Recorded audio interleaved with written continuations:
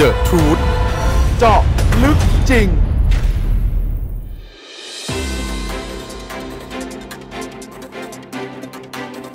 อาชญากรโหนประชาธิปไตย อดีตนักข่าวรอยเตอร์ชำละประวินและพวกทำไมสามารถละเมิดสิทธิใครก็ได้ ไม่มีความผิดแถมลอยนวล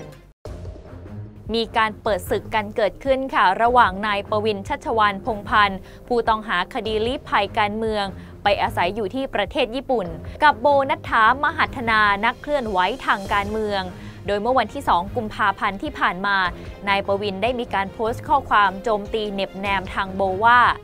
โบว์ ณัฏฐานี่กล้าชี้หน้าคนอื่นนะว่าทำ fake news แต่ทั้งทั้งที่ตัวเอง fake news เรื่องคลิปโป้ตัวเอง ที่ถ่ายเองปล่อยเอง แล้วมั่นหน้ามาถามหาความซื่อสัตย์สุจริตจากคนอื่น ก่อนจะด่าใครหยิบกระจกขึ้นมาดูเงาหัวตัวเองนิดหนึ่งชั่วบริสุทธิ์ขยะเปียก เจ้าแม่เฟกนิวส์กระหายแสง ขึงขังจะเอาเรื่องคนที่พูดถึงคลิปโป้ตัวเอง แต่ไม่ขึงขังเอาเรื่องคนที่ปล่อยคลิป แม้ชาวบ้านดูออกนะ ซึ่งต่อมาในวันเดียวกันทางด้านของโบนัฐาก็ได้ออกมาตอบโต้ด้วยกฎหมาย ไม่ใช่กฎหมู่ แบบเพจที่อวดอ้างว่าก้าวหน้า โดยระบุรายละเอียดว่า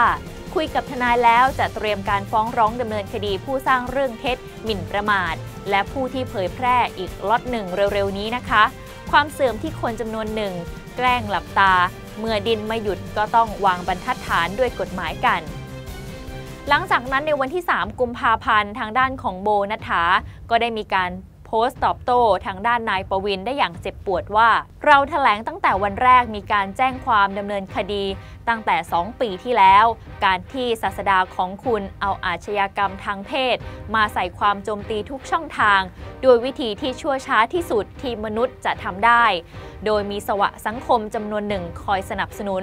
มันคือการสร้างตัวอย่างที่เลวทรามให้สังคม และจะเป็นผลร้ายกับเหยื่อคนอื่น ๆ ในอนาคต ทั้งหมดนี้เพียงเพราะเราไม่ร่วมด้วยกับวิธีการเคลื่อนไหวเลวๆ ที่ไม่ตรงไปตรงมากับสังคมของเขา ไม่มีประชาธิปไตยที่ไหนในโลกหน้าตาแบบนี้ค่ะ ล่าสุดในวันที่ 4 กุมภาพันธ์ 2564 ทางด้านของนายแอนดรูว์ แม็กเกรเกอร์มาร์แชล อดีตนักข่าวรอยเตอร์ ชาวสกอต และผู้ร่วมกับนางจรรยายิ้มประเสริฐ โจมตีสถาบันพระมหากษัตริย์ในต่างประเทศ และยังมีคดีติดตัวมากมายในประเทศไทย ที่ผิดโผกลับมาเข้าข้างทางด้านของโบนัทธาและผสมโรงโจมตีนายประวิน ที่มีพฤติกรรมชอบละเมิดสิทธิเสรีภาพคนอื่น โดยมีเนื้อหาว่า ผมรู้สึกผิดหวังที่เห็นปวินชัชวานพงพันธ์ละเมิดคุณโบนัฐถามหัฒนาอีกครั้ง โดยการเผยแพร่ภาพที่ถูกแอบถ่าย โดยปราศจากความยินยอมของเธอ และกล่าวหาเธอด้วยความเท็จไม่อาจมีข้อแก้ตัวใดสำหรับพฤติกรรมแบบนี้ มันเป็นการกลั่นแกล้งรังแกและเป็นการละเมิด และมหาวิทยาลัยนานาชาติทั้งหมดที่ปวินต้องการร่วมงานด้วย ควรจะตระหนักถึงเรื่องนี้ หากเขาไม่เห็นด้วยกับความคิดเห็นใด ๆ ของคุณโบ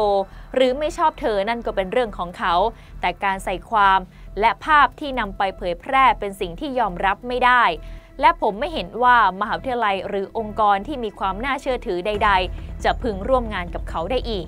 และเป็นที่ชัดเจนว่าเขาจะโจมตี และละเมิดผมอีกครั้งเช่นกัน หลังจากที่ผมเขียนข้อความนี้ แต่ผมไม่ใส่ใจ เขาเคยละเมิดผมและครอบครัวของผมมาแล้ว เราเคยชินกับพวกมันเสียแล้ว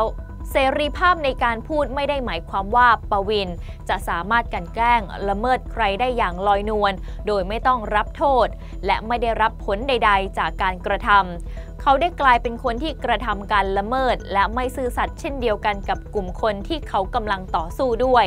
มันควรจะจบได้แล้ว จากนี้เราก็ต้องมาติดตามกันว่าศึกครั้งนี้จะจบลงอย่างไรค่ะ The Truth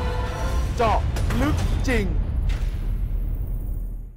ฝากกดไลค์ กดแชร์ กด Subscribe เพื่อไม่พลาดข้อมูลข่าวสาร และสถานการณ์สำคัญ ทันทุกเหตุการณ์ พร้อมด้วยการวิเคราะห์เจาะลึกทุกข้อมูลข่าวสาร เพื่ออนาคตที่ดีของประเทศไทย จากทิศทางไทย